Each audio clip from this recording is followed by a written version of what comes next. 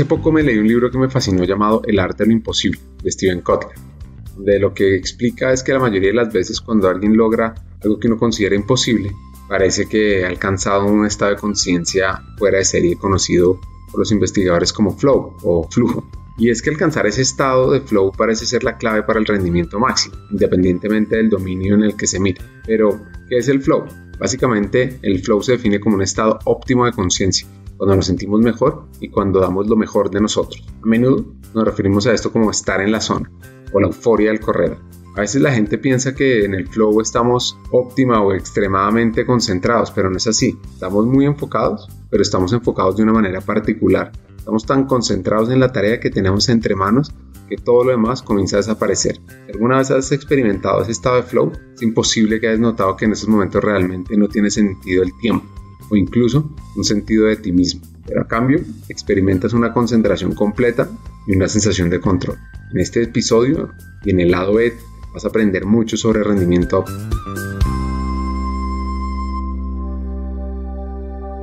Hackers del Talento.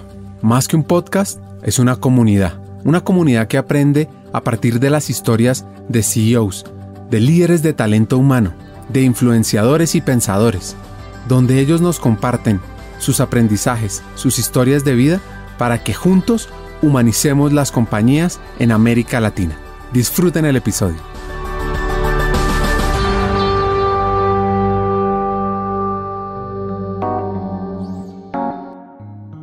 Nuestro hacker de hoy, Alex Ureña, nació en Córdoba, Veracruz, México, en una familia de emprendedores, de lectoras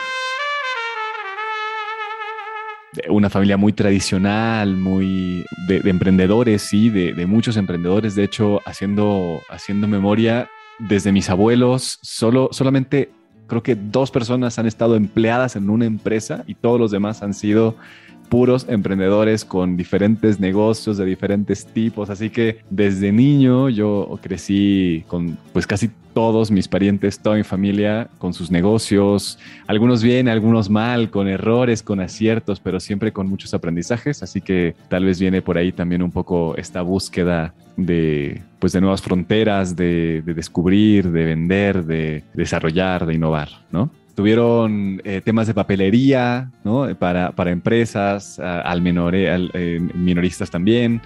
Eh, pusieron una escuela en algún momento, pusieron un, centro de salud, entonces de cosas muy, muy distintas, así muy variadas, no, no, era, no era una sola cosa, tiendas, en fin, ¿no? diferentes cosas que algunas funcionaron, otras no, otras siguen vivas y, creciendo. Creo que recordando, esa es la, la parte como más como notoria de, de mi infancia, ¿no? El estar muy de cerca con una vida de emprendedores reales, no como los vemos ahora en el sentido glamoroso, ¿no? De las startups, sino ese emprendedor que, lo conocen en el pueblo, pues, ¿no? Y, y se desarrolla a través de eso.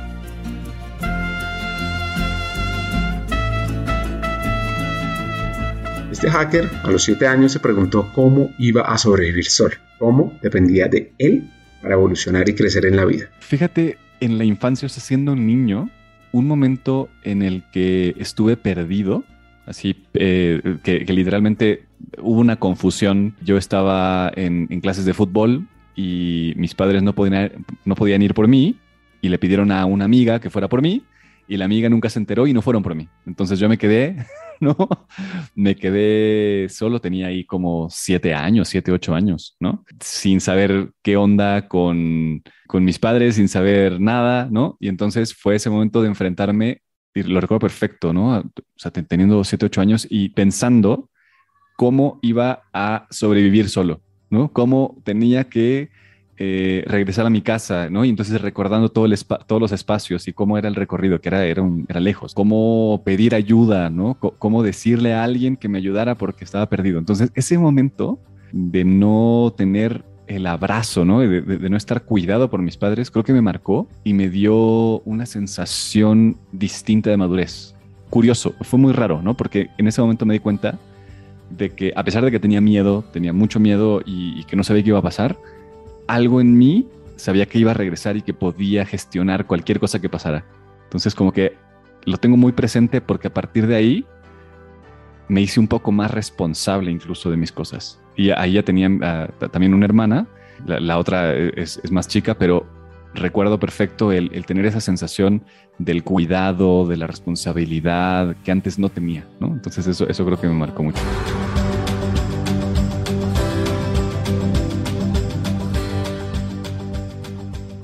Luego de todo un día completo, les cuento que Alex llegó a una tienda de fotos, una tienda donde le gustaba estar. Se resguardó allá. Mientras sus padres buscaban en muchos lugares que él visitaba, finalmente lo encontraron ahí. Acelerando la historia para cuando Alex ya tenía 14 años. En el 2003, cuando se da el último vuelo del Concorde, cuando capturan a Saddam Hussein, que era presidente de Irak en ese momento, o cuando Lance Armstrong gana su quinto Tour de France, pues Alex llega a un momento clave que transforma su visión del mundo.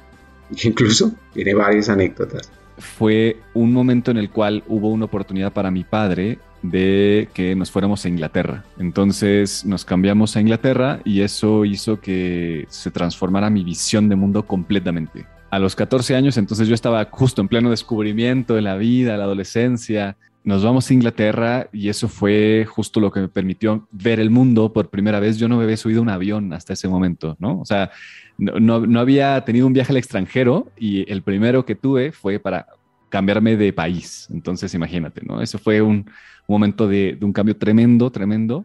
Nos fuimos a Inglaterra, un shock cultural genial. Yo me acuerdo perfecto escondiéndome detrás de mis padres cuando el, director de la escuela me preguntaba, hola, ¿cómo estás? Eh, ¿Cómo te llamas? ¿no? Y yo no podía ni siquiera decir mi nombre. Yo sabía oh. inglés, lo teórico, ¿no? Pero, pero digo, sí, durante el colegio llevé todo el tiempo inglés, pero nada te prepara para cuando alguien realmente te está ahí cuestionando en inglés y, más en esa edad. Entonces me acuerdo perfecto de esa sensación de no poder hablar, literalmente. Y pasé varias semanas, ¿no? O sea, escuchaba y entendía y me podía desenvolver, pero no me podía comunicar. Entonces, esa, ese momento de, de, volver a redescubrir los valores, la cultura, el lenguaje, la forma de comportarse, todo fue tremendo, ¿no? O sea, justo en un momento clave para mí fue, fue algo que marcó mi vida para bien, ¿no? Porque me puso justamente a mirar con más atención. Ahora recordándolo, eh, fue un momento en el cual todos los días eran algo nuevo, ¿no? Eran algo totalmente y absolutamente nuevo. Todos los días aprendía algo, todos los días cuestionaba eh, mi propia vida, ¿no? Desde esa edad, a los 14 años. Entonces, creo que a partir de ahí empecé a tener una visión un poco distinta y un poco más amplia.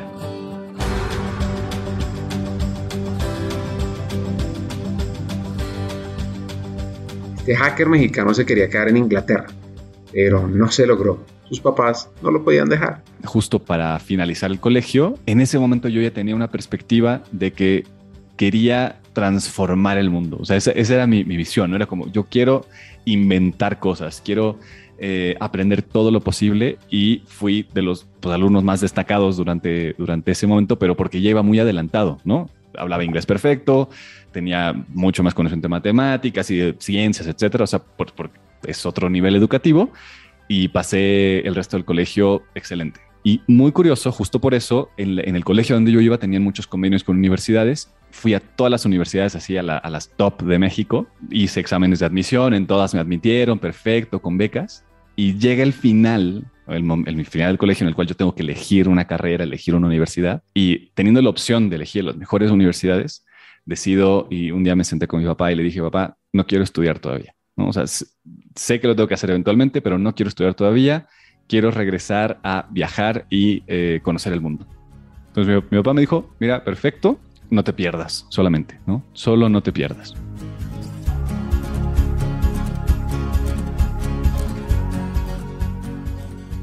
Bueno, y ya sabemos sobre perderse, ¿no? no, no, pierdas tu mente, ¿no? Principalmente, ¿no?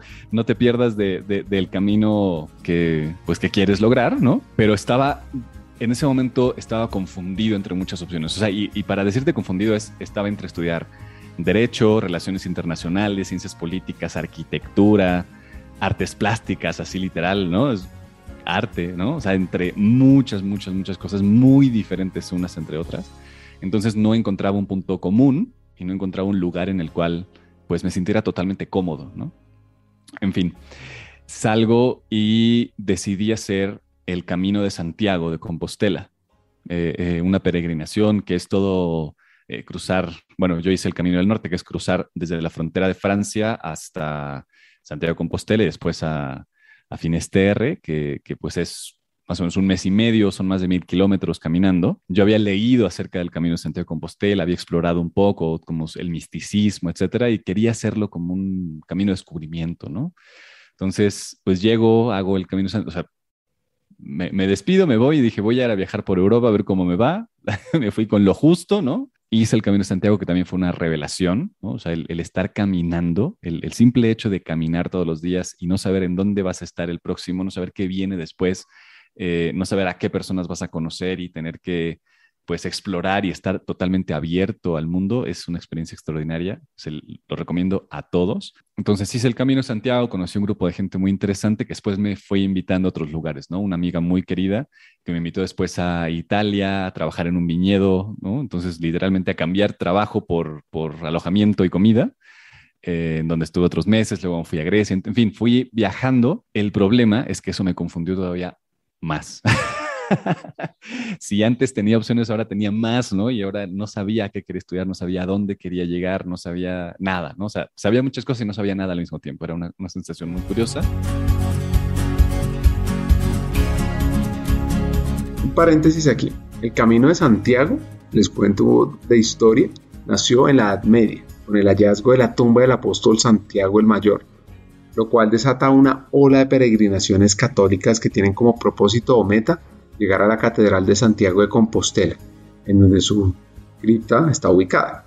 Es el camino más antiguo y concurrido de Europa, alcanzando la categoría de gran centro de peregrinación junto con Roma y Jerusalén, que cada año atrae a más de 200.000 peregrinos y tres de sus rutas, el camino francés, el primitivo y el del norte, fueron declaradas Patrimonio de la Humanidad por la UNESCO. Es importante destacar que no es solo un camino de peregrinación religiosa, sino que ha tenido un papel clave en el desarrollo de la entidad europea, su comunicación, en el intercambio de ideas y proyectos. Simplemente el proceso de reflexionar del caminante. Ahora, volviendo a su historia, su papá le dice pues, que él debe elegir su camino. ¿Qué vas a hacer? Ya pasó el año que dijiste que te ibas a tomar, tienes que regresar, tienes que estudiar, tienes que elegir un camino, ¿no? Entonces vuelvo a México no podía elegir, no podía elegir algo en concreto, entonces en ese momento empiezo a tomar muchos cursos, muchas cosas, a hacer eh, deportes, etcétera, pero tampoco elegía todavía. Entonces volví a viajar, ¿no? Los convencí para, para darme, darme espacio, pero esta ocasión me fui a Latinoamérica. Llegué a Chile directamente, eh, al sur del mundo, y ahí conocí a una persona que estaba estudiando una carrera muy extraña, se llama salud integrativa, que solo existía en Chile en ese momento, que tiene que ver justo, e, es, una carrera que conjuga medicina con psicología y eh, pues es como una atención primaria en salud. ¿no? Yo hasta ese momento no sabía que, había como un tema de salud o medicina que me interesara. O sea, sí había tenido algunos encuentros, pero nunca había visto que eso era un llamado, ¿no? A pesar de que incluso había explorado medicina. Entonces, fue realmente azaroso y terminé estudiando la carrera de salud integrativa, que es como medicina integrativa, en Santiago de Chile. Y un día nuevamente le hablo a mis padres, oigan, ¿qué creen? Encontré lugar, encontré lo que quiero hacer el resto de mi vida eh, me voy a quedar en Chile. Bueno, imagínate, ¿no? Mis papás nunca habían ido a Chile, no sé qué. Yo, siempre digo que a Chile llegas o por error o por algo súper específico, ¿no? Es como un lugar súper aislado, es raro llegar a Chile. Y me quedé, me quedé cinco años, estudié eh, esta carrera con experiencias eh, muy interesantes. La sorpresa para sus padres fue grande, pero Alex estaba seguro, seguro, seguro en eso. Y esta carrera lo inspiró cómo mira de forma holística al ser humano. ¿no? no solamente es un cuerpo, sino que la mente interviene, las relaciones, la forma en la cual está estructurada tu familia, eh, la sociedad y el entorno, en fin, ¿no? o sea, como, como un ser multidimensional realmente y mirarlo desde el aspecto científico, pero también holístico al mismo tiempo, simplemente me movió completamente y me di cuenta que eso era lo que quería desarrollar, ¿no?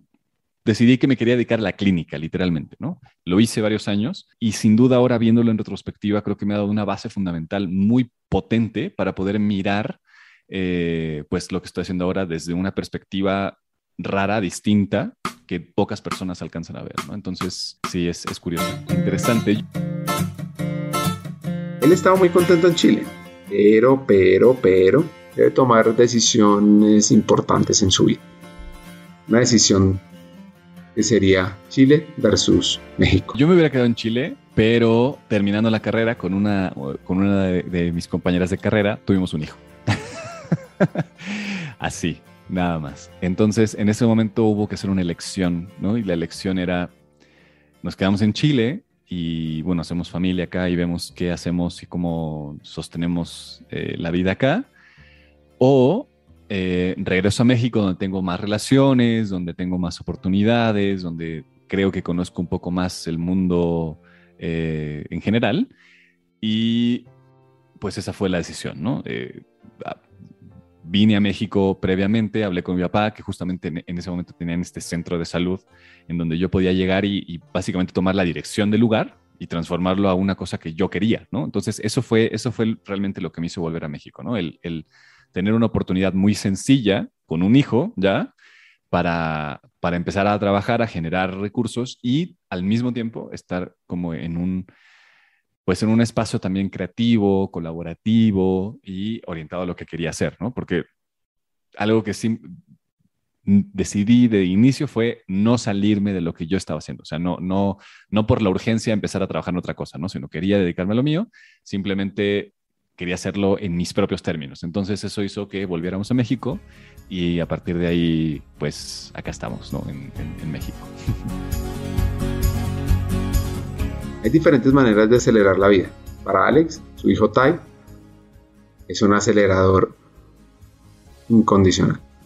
Creo que el nacimiento justo de, de Tai fue, fue también importantísimo y fue un acelerador, ¿sabes? Porque yo tenía esta perspectiva de que, ok, ya, ya en, la carrera, bueno, eh, pues voy a estudiar la maestría y voy a seguir especializándome, seguir viajando, sí, pero ya mucho más centrado en el estudio, ¿no? O sea, de ir a otro país, a seguir estudiando, o sea, yo quería eh, llegar a un nivel de especialización académica muy alta, ¿no? O sea, doctorado, todo, ¿no? O sea, mi, perspectiva era 100% académica y dedicarme, o sea, ser un doctor en, los temas que me interesaban en ese momento. Em, y esa era mi, mi perspectiva, ¿no? Entonces, eso cambió absolutamente, pero me dio esta sensación que yo no tenía antes, justamente, de el tener que sostener la vida, ¿no? Y que, y que, bueno, tú seguramente también y muchos de los que escuchan tienen ese, ese momento, ¿no? En el cual o sea, tú te puedes sostener a ti mismo y, ok, ahí duermes donde sea, comes lo que sea y perfecto, ¿no? Pero cuando tienes que sostener una vida, las cosas cambian totalmente, en especial cuando no hay algo que te sostenga eh, completamente, ¿no? Porque recuerdo perfecto, o sea, en la conversación con mi papá, que le agradezco hoy mucho, él fue como, yo no te voy a sostener. O sea, tú decidiste esto, ¿no? Porque las cosas no, no son por se suceden porque tú las decides y yo no te voy a sostener. Puedes tomar el centro, puedes hacerlo siempre y cuando generemos dinero. Punto. O sea, así, muy, muy frío en ese sentido. Digo, muy, muy abierto, amoroso y a ver, hagámoslo, pero no creas que eh, te voy a seguir sosteniendo y en este momento es como eh, se acaba, ¿no? y, y, creo que fue excelente, qué bueno que lo hizo porque justo eso muy joven, digo, tuve un hijo muy joven, pero también muy joven tuve que empezar a emprender y empezar a desarrollar eh, rápidamente recursos y empezar a, pensar activamente desde una perspectiva al inicio de supervivencia, pero después de desarrollo, ¿no? Que era algo que no tenía en el radar previamente. O sea, mi radar era completamente académico y clínico y eh, aprender, aprender, aprender y estar ahí eh, en los libros, etcétera, ¿no? Y ahora fue como, ok, todo esto lo tengo que llevar a la práctica, tengo que conseguir clientes, tengo que vender. Yo nunca había vendido nada, nada, sí, ¿no? Cero, no había vendido nada, no me había vendido a mí nada, ¿no? Y, estaba en mi mundo teórico y académico. Y entonces es, ok, enfréntate de un momento a otro para sostener una vida con las ventas, con la gente, con el mundo, lo cual fue muy duro en su momento, pero qué bueno que sucedió porque sucedió pronto y ahora veo cómo tengo muchísima energía disponible y puedo seguir haciéndolo a otro nivel, ¿no? Entonces fue, sí, fue, fue, fue un momento bien interesante ese y creo que ese, si ponemos todo el cúmulo de experiencias de la vida, ese fue clave, ¿no? Para lo que, lo que hoy, hoy está pasando.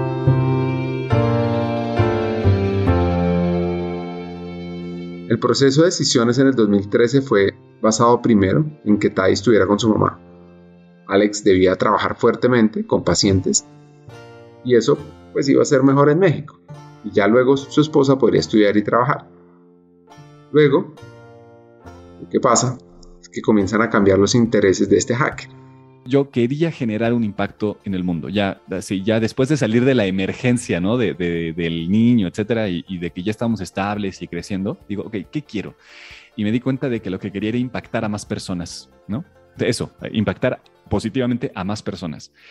Y el poder impactar a más personas implicaba que o hiciera temas en gobierno o trabajara con empresas. O sea, ese era ¿no? el, el, final, o que hiciera cursos, que también eh, hice, hice muchos cursos, pero, pero quería generar más impacto. Entonces, al empezar a atender a más líderes y darme cuenta de la vida que tenían ahí y en las necesidades de bienestar, las necesidades de simplemente de hablar, ¿sabes? O sea, el, encontrarme con, con, estos líderes que necesitaban expresarse, que necesitaban decir esas cosas que no podían decirle a nadie más, ¿no? Entonces, me doy cuenta de este mundo eh, en el cual hay una necesidad concreta. ¿No? Empiezo a descubrir una necesidad concreta de desarrollo para liderazgo.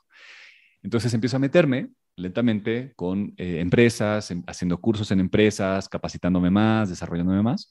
Em, y naturalmente, pues todo esto sucedía, a través de recursos humanos, evidentemente, ¿no? Y ahí es donde entro, que fue hace poco realmente, o sea, si lo ves en la perspectiva de la vida, fue hace poco, pero fue una decisión tajante, ¿no? Fue una decisión así completa de voy a dedicarme a esto y cambié de carrera completamente. O sea, dejé la clínica, dejé el coaching, dejé la atención uno a uno y me empecé a dedicar completamente a eh, hacer talleres en empresas, cursos, em, eh, coaching de equipos, temas con, líderes. Entonces ahí fue como esa transformación y ese giro em, que viéndolo se dio muy natural, pero sí fue una decisión muy puntual de, de, o sea, de cerrar el consultorio ¿no? y abrir una empresa nueva.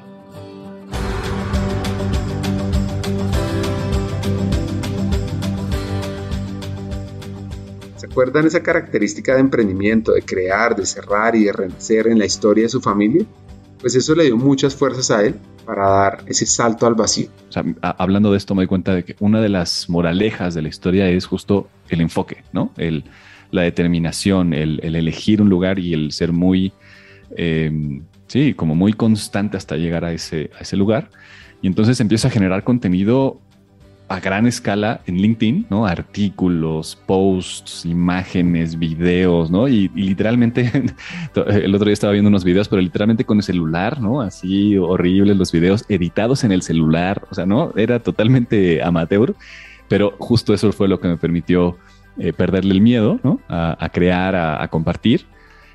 Y sigo haciéndolo hasta que en 2019 justo pues me seleccionan como eh, parte de la lista de los top boys y eso ahí fue también un parteaguas, ¿no? O sea, porque a partir de ese momento, con esa investidura, pues pude tener acceso a otro tipo de líderes en empresas mucho más grandes, eh, a publicaciones y a otras cosas bien interesantes que pues me han permitido hoy pues expandir todavía mucho más el mensaje, ¿no? Entonces, em, pues fue eso, eso, los últimos años fueron de mucha constancia, de mucho compartir, de poner cosas, o sea, eh, literalmente libro abierto, ¿no?